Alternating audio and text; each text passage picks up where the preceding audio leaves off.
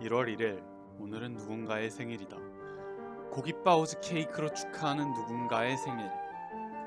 꿈은 무의식의 발현이라고 믿고 있지만 오늘 같은 날이면 어떤 의미가 있는 게 아닐까 하고 자연스레 마음이 가곤 한다.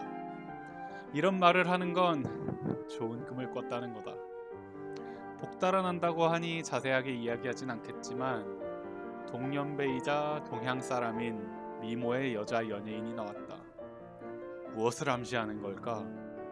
난 이 연예인의 대단한 팬도 아니고 의식의 기저에 깔릴 정도로 생각해 오던 사람도 아니었다. 이 사람의 작품을 굳이 찾아본 적도 없고 가끔 기사에서나 대충 보고 넘기는 정도였는데 꿈에 나올 줄이야. 그래서 더 의미 부여를 하고 있다. 이 사람과 내가 무슨 일이라도 생기는 건가?